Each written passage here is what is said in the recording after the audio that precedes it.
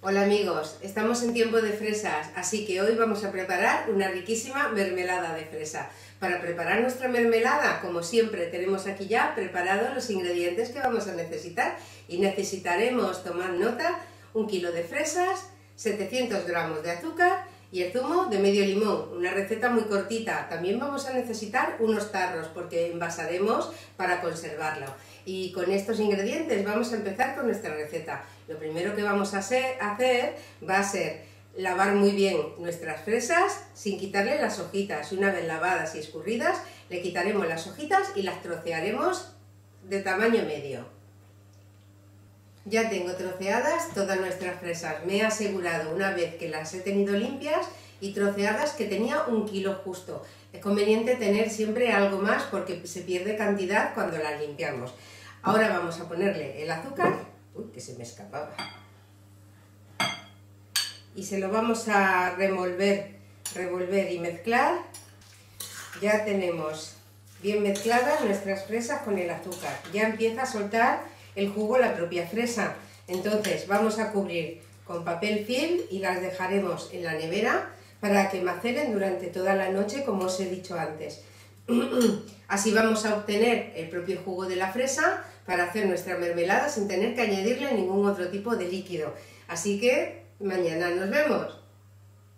Después de haber pasado toda la noche en la nevera nuestras fresas con el azúcar, ya han dejado todo su jugo macerando. Mirad qué cantidad de líquido han soltado. Así no necesitamos poner ningún tipo de agua ni ningún líquido más. Solamente nos quedará poner una olla amplia al fuego y verteremos todo el contenido de nuestro bol.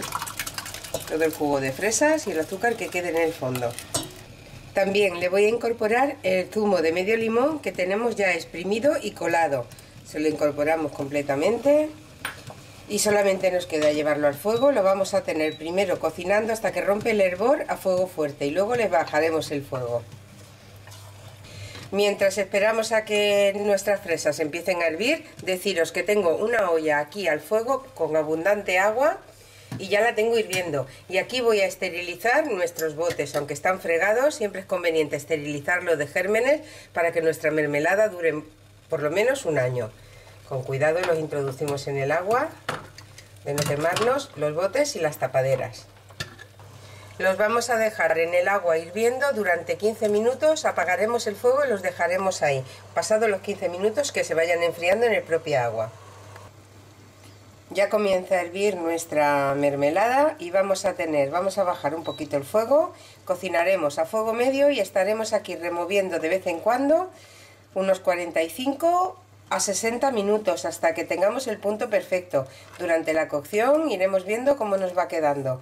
Removeremos para que las fresas que, que quedan así enteras se vayan rompiendo un poco. Han pasado 45 minutos y ya tenemos nuestra mermelada en el punto perfecto. Pensar que aunque la veamos líquida aquí en, el, en la olla, cuando se enfría se queda cuajadita. Y vamos a hacer la prueba, separamos y vemos que se queda ya la marca. Perfecto. He puesto la mermelada en una jarra y tengo los botes que los he sacado del agua y los he dejado escurrir sobre una servilleta de papel boca abajo para que estén completamente secos. Y ya solo nos queda rellenarlos con cuidado de no quemarnos, pues está muy caliente. A quien le guste la mermelada más triturada, pues simplemente al final pasarle un poco la turmis o por un pasapurés y la tendremos con una textura muy fina. A mí me gusta encontrarnos los tropezones de fresa, así sabemos que es mermelada casera y que está riquísima. Dejamos sin llenar hasta arriba del todo para que haga un poco de cámara. Así será suficiente. Ahora cerramos los botes apretando bien con cuidado de no quemarnos porque está realmente caliente